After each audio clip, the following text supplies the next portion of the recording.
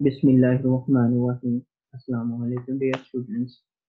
Dear students, today we will discuss about that of chemiosmosis. हमने previous lecture के अंदर discuss किया था इलेक्ट्रॉन ट्रांसपोर्ट चेन जब हमने बात की थी नॉन साइक्लिक फास्फोरिलेशन की उस वक्त हमने कहा था कि मूवमेंट ऑफ़ इलेक्ट्रॉन की वजह से एटीपी प्रोड्यूस होती है तो उसके साथ साथ हमने डिस्कस किया था कि प्रोटॉन की मूवमेंट की वजह से भी एटीपी की सिंथेसिस होती है, वो जो एटीपी की सिंथेसिस होगी due to the movement of the protons उसे क्या कहेंगे कीमोस्मोसिस देखें, in both cyclic and non cyclic phosphorylation the mechanism for ATP synthesis is chemiosmosis cyclic और नॉन साइक्लिक फास्फोरिलेशन के अंदर, जो एटीपी की सिंथेसिस होगी, उसे क्या कहेंगे chemiosmosis the process that uses membrane to couple redox reaction to ATP production. अब देखिए, ये प्रोसेस है जो इस्तेमाल होता है मेम्ब्रेन के अंदर, ठीक है? और उसके साथ साथ कपल रिडॉक्स रिएक्शन की वजह से क्या होगा? किसकी प्रोडक्शन होगी? एटीपी की। Electron transport chain pumps, proton, across the membrane thalakite in case of photosynthesis into the thalakite space अब देखें इलेक्ट्रॉन ट्रांसपोर्ट चेन जो है, वो पंप करेगा किसको? प्रोटॉन को।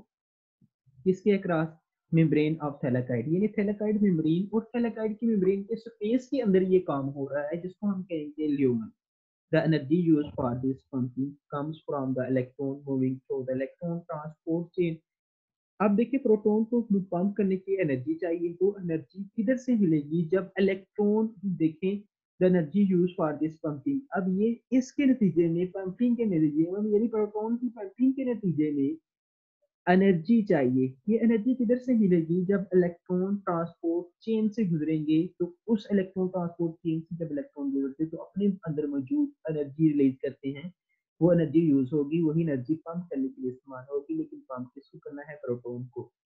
This energy is transformed into the potential energy stored in the form of hydrogen ion gradient across the membrane. अब यही एनर्जी ट्रांसफॉर्म हो जाती है, किस फॉर्म के अंदर? पोटेंशियल एनर्जी के अंदर, ठीक है? यानी पोटेंशियल एनर्जी स्टोर हो जाती है एटीपी के फॉर्म के अंदर स्टोर हो जाती है, लेकिन ये हाइड्रोजन आयन ग्रेडियंट किस फॉर्म के अंदर हाइड्रोजन आयन ग्रेडियंट के लेकिन हो किसके अक्रॉस रहा है, ये काम across the membrane next the hydrogen ions move down their gradient to special complex car ATP synthase फिर उसके बाद क्या होगा कि ये जो हाइड्रोजन आयन है एटीपी सिंथेज के पास जो जाएँगे ठीक है? They देखें concentration gradient their gradient to special complexes called ATP synthase which are bound in thylakoid membrane अब ATP synthase है ये thylakoid membrane के पास जाएगा जब हाइड्रोजन आयन इधर से गुजरेंगे ये रन करेगा अपने रन करने की वजह से ये क्या फॉर्म करेगा ATP during this diffusion of hydrogen ion the energy of electron is used to make ATP ठीक है इसके नतीजे में एनर्जी क्या होगी हाइड्रोजन आयन की एनर्जी इलेक्ट्रॉन यूज़ करेंगे। देखिए during this diffusion hydrogen ion the energy of electron is use to make और यही एनर्जी क्या, किस फॉर्म के अंदर स्टोर हो जाएगी? एटीपी की फॉर्म के अंदर। ये तमाम बातें जो प्रीवियस लेक्चर के अंदर, यानी प्रीवियस स्लाइड्स के अंदर हमने डिस्कस की हैं, इसके अंदर हम देख लेते हैं ये कैसे पॉसिबल है। ये देखें फोटोलाइसिस हो रही है वाटर की फोटोलाइसिस हो रही है, उसके नतीजे में प्रोटोन प्रोड्यूस हो रहा है, ठीक है? ये प्रोटोन तो प्रोड्यूस हो रहा है उसके साथ साथ क्या हो रहा है? ऑक्सीजन या oxygen replenishment in the environment हो जाएगी, ये प्रोटोन की मूवमेंट होगी। फिर उसके साथ साथ इलेक्ट्रॉन की मूवमेंट देखें इलेक्ट्रॉन और प्रोटोन किधर से, ठीक है? ये जो थैलाकाइड मेम्ब्रेन अब ये काम किसके अंदर हो रहा है? थैलाकाइड इंटीरियर स्पेस यानी ह्यूमन के अंदर काम हो रहा है, ये थैलाकाइड मेम्ब्रेन है, ये स्ट्रोमा देखें थैलाकाइड इंटीरियर स्पेस ल्यूमन ये थैलाकाइड इंटीरियर स्पेस के अंदर हो रहा है ल्यूमन के अंदर हो रहा है। अब इधर से क्या हो इलेक्ट्रॉन प्रोटोन मूवमेंट करेंगे। देखिए ये प्रोटोन की मूवमेंट हो रही है थैलाकाइड मेम्ब्रेन और ये किसके पास जाएगा? प्लास्टो क्यूनिन प्लास्टो क्यूनिन हमने कहा था कम्प्लेक्स है। किस किस चीज़ का? प्लास्टो यानी साइटोक्रोम और प्लास्टोसाइनिन का। अब ये प्लास्टोक्यून अब ये है प्लास्टोक्यूनिन उसके बाद ये साइटोक्रोम कम्प्लेक्स के पास मूवमेंट होगी। इलेक्ट्रॉन और प्रोटॉन दोनों की हो रही है। फिर उसके साथ साथ ये प्लास्टोसाइनिन के पास जाएगा। प्लास्टोसाइनिन के बाद फेरिडोक्सिन फेरिडोक्सिन के बाद, अब ये ये देखें ये आ जाएगा किसके पास? फेरिडोक्सिन के पास या फेरिडोक्सिन के पास जाएगा तो इधर से फिर क्या है? ये एटीपी यानी N A D P plus यानी इधर N A D P reductase होंगे रिडक्टेज की वजह से ये क्या होगा? वो किसको N A D P H को किसमें कन्वर्ट कर देगा? N A D P H में। लेकिन जब प्रोटोन इधर आएगा, इधर जब, इधर ए टी पी सिंथेज के पास जाएगा तो ये देखिए ये रन करेंगे, ठीक है? ये तेज़ी के साथ घूमेंगे तो जब तेज़ी के साथ घूमेंगे तो इनके नतीजे में क्या प्रोड्यूस होगा? यानी एडीपी किसके साथ मिलेगा? इनऑर्गेनिक फॉस्फेट के साथ मिलेगा तो तब जाके क्या बनेगी? एटीपी बनेगी, ठीक है? इसी तरह जो मूवमेंट हो रही है प्रोटोन की प्रोटोन की मूवमेंट की वजह से जो एटीपी ये बन रही है, ये देखिए प्रोटोन ने रन की एटीपी सिंथेस को, इसको हम कहते हैं अब लाइट इंडिपेंडेंट और डार्क रिएक्शन अब हमने ये तमाम बातें की है प्रीवियस लाइट डिपेंडेंट की। ठीक है लाइट डिपेंडेंट के अंदर हमने साइक्लिक फास्फोरिलेशन देखा नॉन साइक्लिक फास्फोरिलेशन देखा और उसके साथ साथ केमियोस्मोसिस अब हम डिस्कस करेंगे लाइट इंडिपेंडेंट और डार्क रिएक्शन अब लाइट इंडिपेंडेंट की हमने बात की थी, इसके अंदर जो हमने लाइट के इंडिपेंडेंट के अंदर जो एटीपी और एनएडीपीएच बने थे, अब इसके अंदर वो यूज़ हो जाएँगे। ठीक है? अब इसके अंदर वो यूज़ हो जाएँगे और उसके साथ साथ इसका प्रोडक्ट क्या होगा? कार्बोहाइड्रेट ठीक है? देखिए, अब इस लाइट इंडिपेंडेंट डार्क रिएक्शन या कैल्विन साइकिल एक ही चीज़ के नाम है। अब carbon fixation and reduction phase synthesis of sugar the dark reaction takes place in the stoma chloroplast अब डार्क रिएक्शन किसके अंदर होगा? स्टोमा ऑफ़ फ्लोरोप्लास्ट फ्लोरोप्लास्ट के स्टोमा के अंदर these reactions do not require light directly and can occur in the presence or absence of light. अब ये जो रिएक्शन है इसके लिए डायरेक्टली लाइट की ज़रूरत नहीं ये प्रेजेंट और एब्सेंस ऑफ़ लाइट की मौजूदगी, यानी लाइट की मौजूदगी और लाइट की गैर मौजूदगी के अंदर असर हो सकता है। Provided assimilatory power in the form of ATP and NADPH ठीक है? अब इनके अंदर पावर असिमुलेटरी पावर है, यानी यूज़ होंगे एटीपी और NADPH produce during light reaction is available अब इसके लिए एटीपी और एनएडीपीएच ज़रूरी है, जो लाइट रिएक्शन के अंदर क्या हो चुके थे? प्रोड्यूस हुए थे। Energy of is used in the formation of carbohydrate from carbon dioxide, and thus to and thus stored therein. अब ये जो तमाम बातें हुई हैं, इसके अंदर देखें कार्बन डाइऑक्साइड है।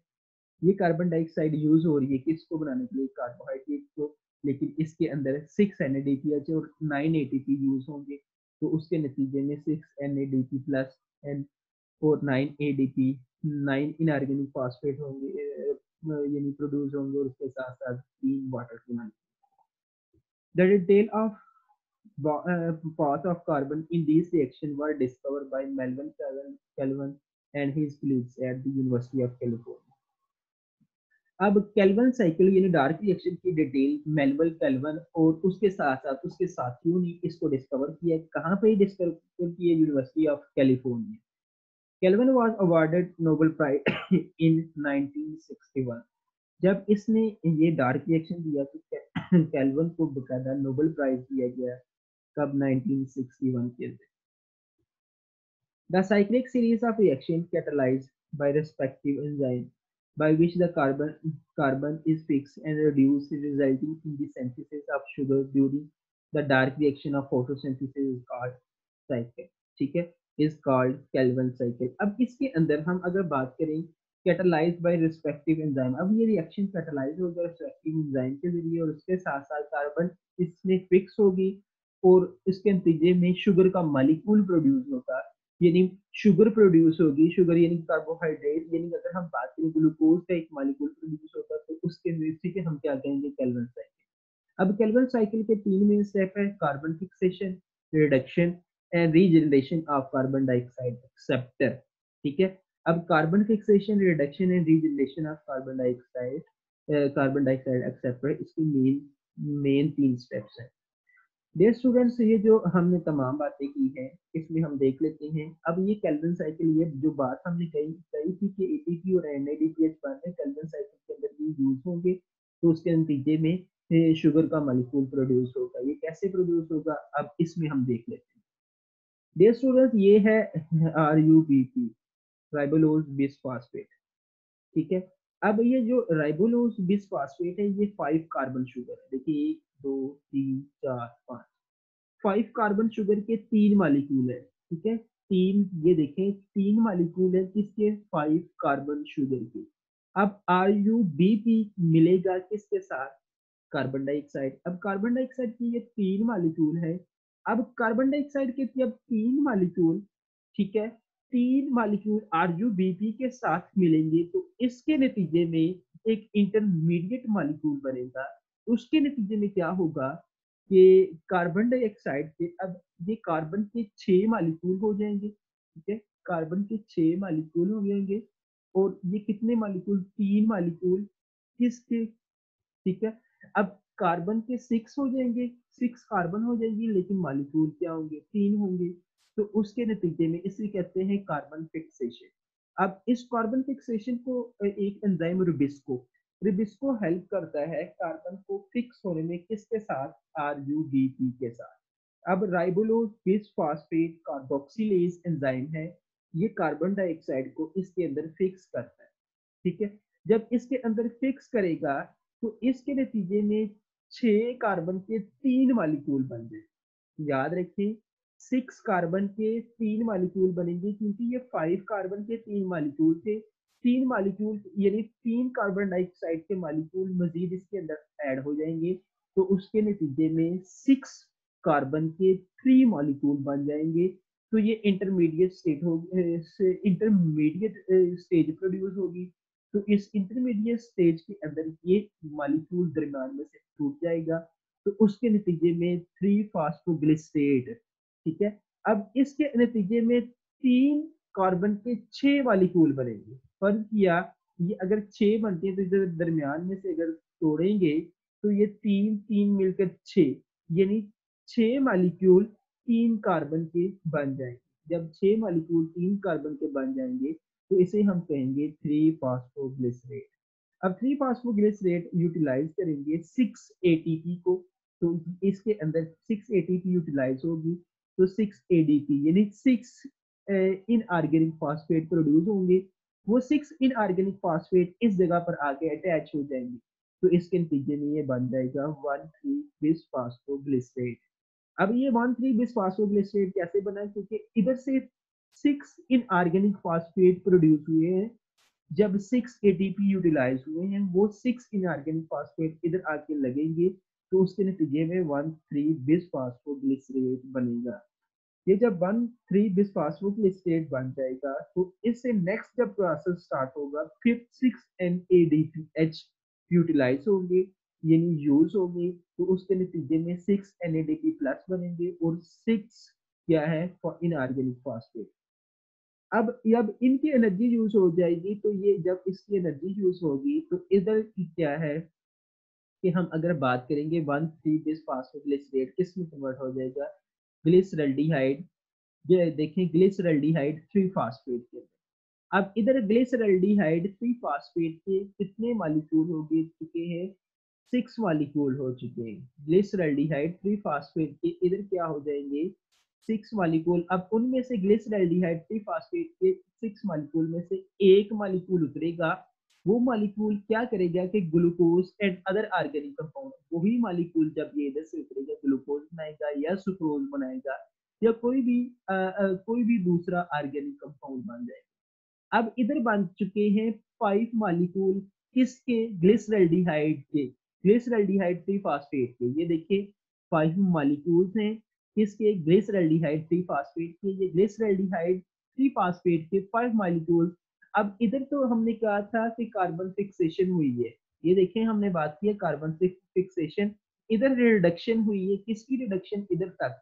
इधर से लेकर अगर हम बात करें, इधर तक रिडक्शन हुई है, इधर से लेकर थ्री से लेकर इधर तक रिडक्शन हुई। किसकी रिडक्शन यानी ग्लूकोज की। अब इधर ग्लिसरल्डिहाइड थ्री फास्फेट अब ये फ़ेज़ थ्री है। इसके अंदर रीजनरेशन होगी इसकी आर की। कार्बन डाइऑक्साइड एक्सेप्टर आर की दोबारा क्या हो जाएगी? रीजनरेशन अब इसके अंदर थ्री एडीपी अब इसके अंदर थ्री एडीपी प्रोड्यूस होंगे किधर से? जब तीन एटीपी के मालिक्यूल यूज़ होंगे। अब वो तीन एटीपी के मालिक्यूल दोबारा यूज़ होते होने के साथ साथ किस जीत की रीजनरेशन करेंगे? यानी मजीद स्टेप इसके अंदर इन्वॉल्व होंगे। उन स्टेप के नतीजे में ये दोबारा क्या बन जाएगा? आर यू बी पी यानी राइबोलोज बिसफास्फेट इस तरह ये केल्विन साइकिल कंप्लीट होता है। अब केल्विन साइकिल के अंदर हमने बात की थी, इसका प्रोडक्ट क्या है? ग्लूकोज है। ये देखिए ग्लूकोज का मालिक्यूल बन चुका है। और उसके साथ साथ हमने ये बात की थी कि इसके अंदर एटीपी और एच यूटिलाइज होते हैं। और उसके साथ साथ कार्बन फिक्स होती है। ये कार्बन फिक्स होगी किसके ज़रिए? रुबिस्को के ज़रिए। राइबोलोज बिस्फास्फेट कार्बोक्सिलेज ये क्लोरोप्लास्ट और दुनिया में पाई जाने वाली सबसे ज़्यादा प्रोटीन है। रुबिस्को दुनिया में पाई जाने वाली सबसे ज़्यादा प्रोटीन है? ये किसमें हो रहा है? क्लोरोप्लास्ट के स्टोमा के। अंदर ठीक है? अब ये देखें सिक्स एटीपी के मालिक्यूल यूटिलाइज हुए सिक्स और थ्री यानी नाइन एटीपी के मालिकूल यूटिलाइज हुए, और उसके साथ साथ six N A D P H utilize हुआ, और उसके साथ साथ शुगर का मालिकूल बना। डियर स्टूडेंट्स ये आज का हमारा लेक्चर इधर तक ही था। उम्मीद करता हूँ कि आपको समझ आ चुकी होगी। ओके थैंक यू अपना बहुत सा ख्याल रखिएगा और दुआओं में याद रखिएगा।